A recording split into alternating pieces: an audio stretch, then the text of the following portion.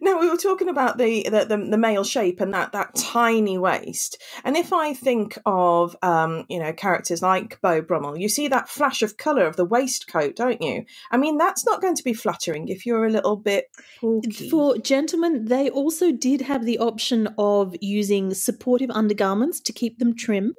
Um, so there were corsets for men, corsets or stays as as they were called.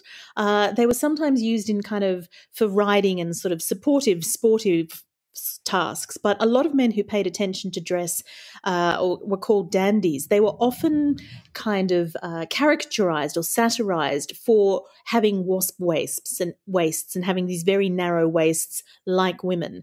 But yes, there was certainly a little bit of um, support and tightening if if you felt you had a little bit too much front and center that perhaps you wanted to distract mm-hmm. people from.